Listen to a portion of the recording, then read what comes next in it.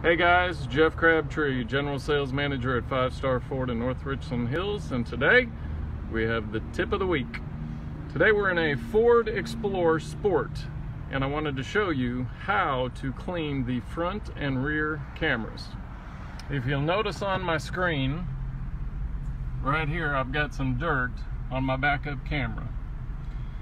I also have some dirt on my front camera. So let's start with the front camera. Over here on my windshield wiper yoke, as they call it, at the very end I have a button. That button is used to turn on the front windshield washer as well as the front washer for the camera. So if you'll look at the screen, I'll hit the button. Are you ready?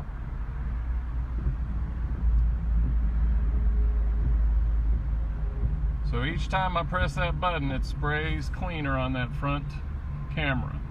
I can also do the same for the back camera. To activate that, I turn this dial here back.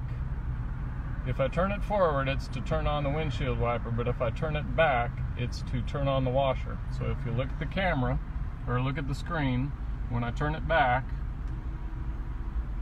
it washes that right off. So as you're driving down the road and you have dirt appear on that camera front or back at any point that you're trying to park or back out of a parking place, as simple as that, you just hit the button or turn the dial to wash them.